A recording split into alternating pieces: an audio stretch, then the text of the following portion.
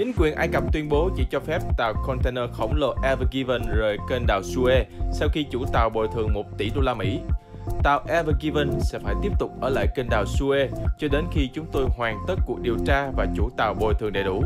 Wall Street Journal dẫn lời tướng Osama Rabi, chủ tịch cơ quan quản lý kênh đào Suez SCA tuyên bố Chúng tôi hy vọng hai bên sẽ sớm đạt được thỏa thuận. Con tàu sẽ được phép rời đi ngay khi chủ tàu đồng ý bồi thường, ông Rabi nhấn mạnh. Đầu tháng 4, SCA đội bồi thường 1 tỷ đô la Mỹ để bù đắp những thiệt hại từ vụ tàu Ever Given mắc cạn ở kênh đào Suez trong gần một tuần. SCA ước tính chính phủ Ai Cập mất khoảng 95 triệu đô la Mỹ phí cầu đường.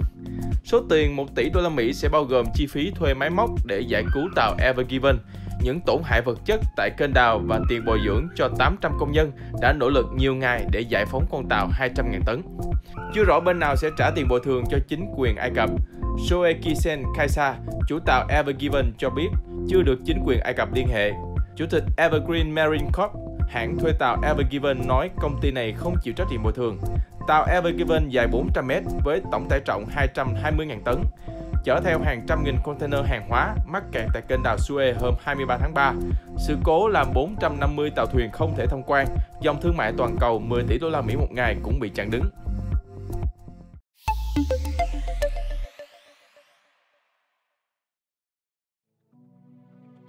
Tuyên bố của Tottenham Hotspur viết, một trong các cầu thủ của chúng tôi trở thành nạn nhân của sự phân biệt chủng tộc ghê tởm này. Điều này đã được báo cáo trên các nền tảng mạng xã hội. Chúng tôi sẽ đánh giá tình hình với ban tổ chức Premier League để đưa ra biện pháp hiệu quả nhất trong tương lai.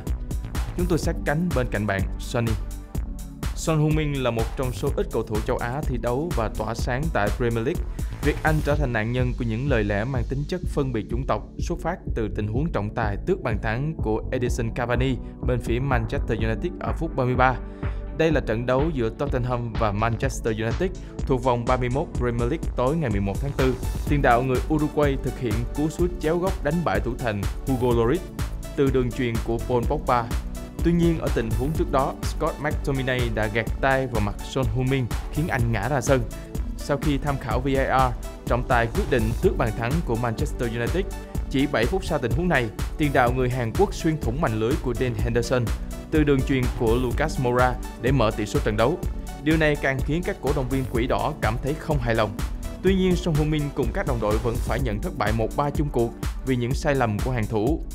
Fred, Cavani và Mason Greenwood tỏa sáng để mang về chiến thắng cho thầy trò huấn luyện viên Ole Gunnar Solskjaer. Thất bại này khiến Tottenham Hotspur tụt lại trên cuộc đua giành vé dự Champions League mùa tới. Nếu không giành danh hiệu và đảm bảo suất dự cúp châu Âu, nhiều khả năng gà trống sẽ phải chia tay một số ngôi sao, trong đó có Harry Kane và Son Heung-min.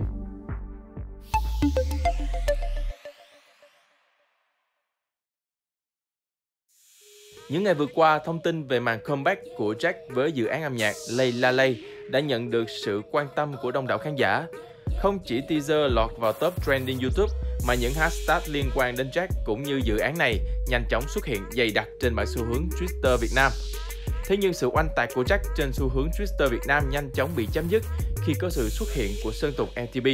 Cụ thể, Sơn Tùng MTV dù chưa cho phát hành bất kỳ sản phẩm âm nhạc mới nào, nhưng chỉ với một vài bức ảnh, nam ca sĩ đã nhanh chóng đưa Jack khỏi những thứ hạng cao trên xu hướng Twitter. Bằng chứng là mới đây hình ảnh Sơn Tùng nằm chễm chệ trên ghế cùng laptop và nhạc cụ với caption lại quay vào đã nhanh chóng xuất hiện trên xu hướng. Chưa kể dòng hashtag MTV is coming cũng xuất hiện tại vị trí thứ ba, cho thấy sự chờ đợi của khán giả về màn trở lại của Sơn Tùng. Trong khi đó Jack lại xuất hiện tại vị trí khá khiêm tốn thứ bảy, dù thời điểm comeback đã cận kề. Có lẽ cộng đồng đom đóm cần phải mạnh tay hơn nữa trong việc đẩy các hashtag này lên thứ hạng cao hơn.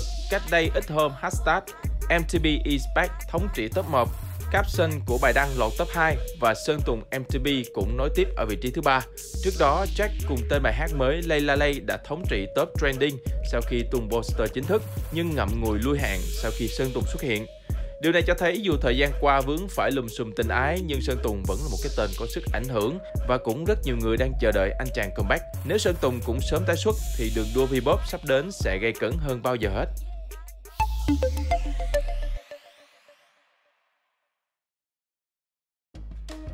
Sáng ngày 12 tháng 4, bà Nguyễn Phương Hằng, sinh năm 1971, vợ ông Dũng Lò Vôi, chủ khu du lịch tâm linh lớn nhất Việt Nam, vừa livestream tố giác một loạt người chửi bới mình trên mạng xã hội. Theo đó bà Hằng cho biết mình sẽ gửi đơn tố cáo đến cơ quan chức năng chính thức kiện một số tổ chức làm ảnh hưởng đến danh dự của mình. Trong đoạn livestream, bà Hằng cho trình chiếu tên của từng tổ chức cá nhân chửi mắng, bôi nhọ mình trên mạng xã hội. Thậm chí bà Hằng còn đầu tư in hình có màu kèm theo tên của từng người này để giới thiệu với đông đảo công chúng. Qua đó, bà chủ Đại Nam gửi lời nhắn nhủ đến 8 người vợ ông Võ Hoàng Yên, nhắc đến vụ việc ông Yên từng nhắn tin tỏ tình và nói yêu bà. Bà Hằng tự tin cho biết, tôi đã nói với quý vị là tôi yêu ông Yên lắm, tôi mê ông Yên lắm, sao còn không chịu? Còn bới móc tôi làm gì? Tôi mê đến tôi khùng tôi điên luôn mà sao vẫn không chịu? Hay để tôi làm gì đó mới chịu? Chồng tôi không phiền sao mấy người phiền dữ vậy? Chồng tôi không bỏ tôi sao mấy người lo lắng quá vậy? Cái đó là cái điều rất kỳ lạ.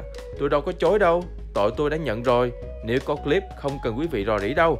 Ông Yên đã gửi phải gửi riêng cho tôi với ông Dũng rồi. Bà Hằng lớn tiếng. Tôi xin phép quý vị cho tôi 5-10 phút để tôi chia sẻ với tất cả chị em phụ nữ. Cả cuộc đời tôi không biết đi ganh tị với người khác. Thời gian đó tôi để kiếm tiền. Tôi thấy ai thành đạt tôi học hỏi để trở thành người thành đạt. Miệng tôi không nói lời điêu ngoa. Bà Hằng tâm sự. Bà Hằng gây gắt phản ứng sau khi bị nhiều người công kích. Thay vì mấy em ngồi đó để ganh tị với chị, mấy em ngồi hót liếu lo thì mấy em lo kiếm tiền đi.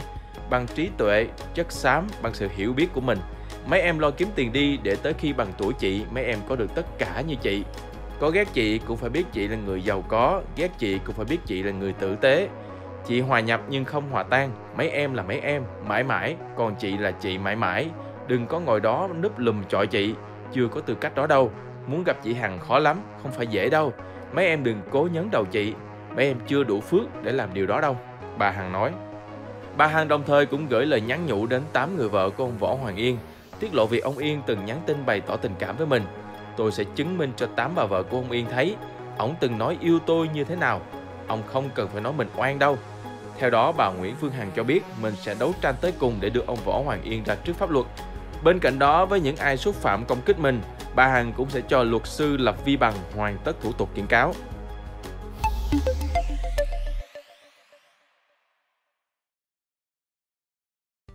Hình ảnh những bà mẹ bỉm sữa trong showbiz Việt cho con bú khi ở nhà hay nơi công cộng đều gây chú ý. Mới đây, nữ ca sĩ Hòa Minzy chia sẻ hình ảnh cho con bú gây bão mạng xã hội. Nhiều người khen ngợi Hòa Minzy khi nuôi con bằng sữa mẹ và thể hiện thiên chức của người mẹ khi mới đi làm về. Chưa kịp thay sang quần áo mặc ở nhà đã cho con ti khi con thèm sữa mẹ. Hình ảnh em bé rướn người lên ti mẹ khiến Hòa Minzy thực sự là một bà mẹ bỉm sữa như biết bao phụ nữ khác. Nữ ca sĩ không ngại thể hiện việc cho con bú mọi lúc miễn là con cần. Một sao việc khác cũng thường gây bảo mạng với hình ảnh cho con bú đó là diễn viên Lan Phương. Cô thường chia sẻ hình ảnh vừa làm việc vừa cho con bú, không ngại để lộ ảnh ngực căng tròn khi con gái Lina lúc đó mới hơn một tuổi. Lan Phương luôn muốn chăm con tốt nhất bằng sữa mẹ ngay cả khi đi ăn cùng ông xã ở nhà hàng. Nữ diễn viên chia sẻ, vòng tay mẹ là chiếc nôi tuyệt vời nhất vỗ về tâm hồn con. Tháng 5 2018, sau một ngày làm đăng ký kết hôn với ông xã người Anh, Lan Phương đã đón chào con gái đầu lòng Lina Lynn Duffy tại một bệnh viện ở Hà Nội. Cô sinh con bằng phương pháp mổ và bé nặng 3 kg 3. Khi đi làm hay đi chơi, Lan Phương đều sẵn sàng cho con bú khi con có nhu cầu. Một bà mẹ sau việc khác cũng thường xuyên chia sẻ hình ảnh cho con bú ở nơi công cộng và được cộng đồng mạng khen ngợi với vẻ đẹp của thiên chức người mẹ. Đó chính là nữ MC diễn viên Ốc Thanh Vân. Ốc Thanh Vân sinh năm 1984, kết hôn với bạn trai học chung thời phổ thông năm 2008 là Trí Rùa. Hai người có ba con, hai trai, một gái. Nhiều lần nữ MC chia sẻ hình ảnh cho con bú trong những lúc ra ngoài nơi công cộng. Ở sân bay, nữ MC cũng tranh thủ thời gian chờ để cho bé bú.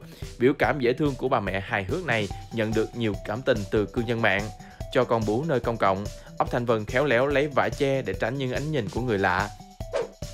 Phan Như Thảo cũng thường xuyên cho con Ti trong mọi hoàn cảnh, nhiều khi không kịp thay đồ ở nhà. Khánh Ti cũng là một bà mẹ sao Việt thường đăng ảnh hạnh phúc khi cho con bú sữa mẹ. Siêu mẫu Hà Anh tranh thủ thời gian làm tóc để cho con Ti.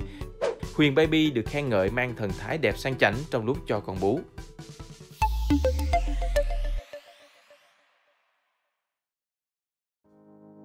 Gần đây, dân tình đã được fan xỉu úp xỉu đau khi biết ca sĩ Di Băng phải trả tới 7,5 tỷ đồng để thái công thiết kế kiến trúc nội thất cho biệt thự rộng 640 m2. Được biết, chi phí nội thất cho căn biệt thự này lên tới khoảng 140 tỷ. Bên cạnh việc trầm trồ vì mức giá trên trời của Thái Công, nhiều người cũng tò mò xem Di Băng là ai mà có thể chơi lớn đến vậy.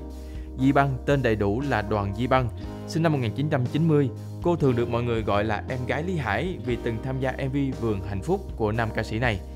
Năm 2012, đoàn Di Băng lên xe hoa với đại gia bất động sản Nguyễn Quốc Vũ. Đám cưới rình rang hết 3 tỷ thời điểm bấy giờ được đánh giá là không hề thua kém ngọc nữ Tăng Thanh Hà. Cô này sau đó được chồng đại gia yêu thương cưng chiều hết mực. Ông xã không tiếc tiền mua tặng Di Băng nhà, xe và đồ hiệu. Được biết, căn villa mà vợ chồng Di Băng sắp sửa tân trang rộng tới 640 m2, trị giá gần 200 tỷ đồng. Trước đây khi Di Băng mang bầu cô con gái thứ hai, chồng đại gia cũng quyết định sẽ cho cô một căn biệt thự hoành tráng trị giá 22 tỷ đồng. Ngôi nhà nằm khu nhà giàu thuộc quận 7, có diện tích gần 300 m2. Căn nhà có tên Hanayuki House, ghép từ tên hai con gái của cô. Căn nhà này có nội thất vô cùng sang trọng với phong cách tân cổ điển. Mọi món đồ đều rất cầu kỳ và nhìn qua là biết siêu đắt đỏ. Khi bắt tay với Thái Công để tân trang căn villa mới, Di bằng chia sẻ, rất nhiều bạn khi biết bằng mời Quách Thái Công thiết kế cho căn nhà sắp tới thì hỏi rằng chi phí mời anh Công thiết kế cao không chị ơi? Thì đây, chi phí thiết kế không đây. Khúc này nhức đầu một thì khúc đặt đồ nội thất nhức đầu 100. Cơ mà bên anh Công không nhận phần xe thô, đau đầu tìm công ty xây dựng tương xứng với bên anh em cũng mệt quá cơ. Căn nhà cũ đã hoành tráng như này thì căn nhà mới hẳn sẽ khiến tất cả mọi người trầm trồ. Trong lúc chờ màn bắt tay của Thái Công và Di Băng cho dự án mới thì cùng ngắm những hình ảnh căn biệt thự 22 tỷ này nhé.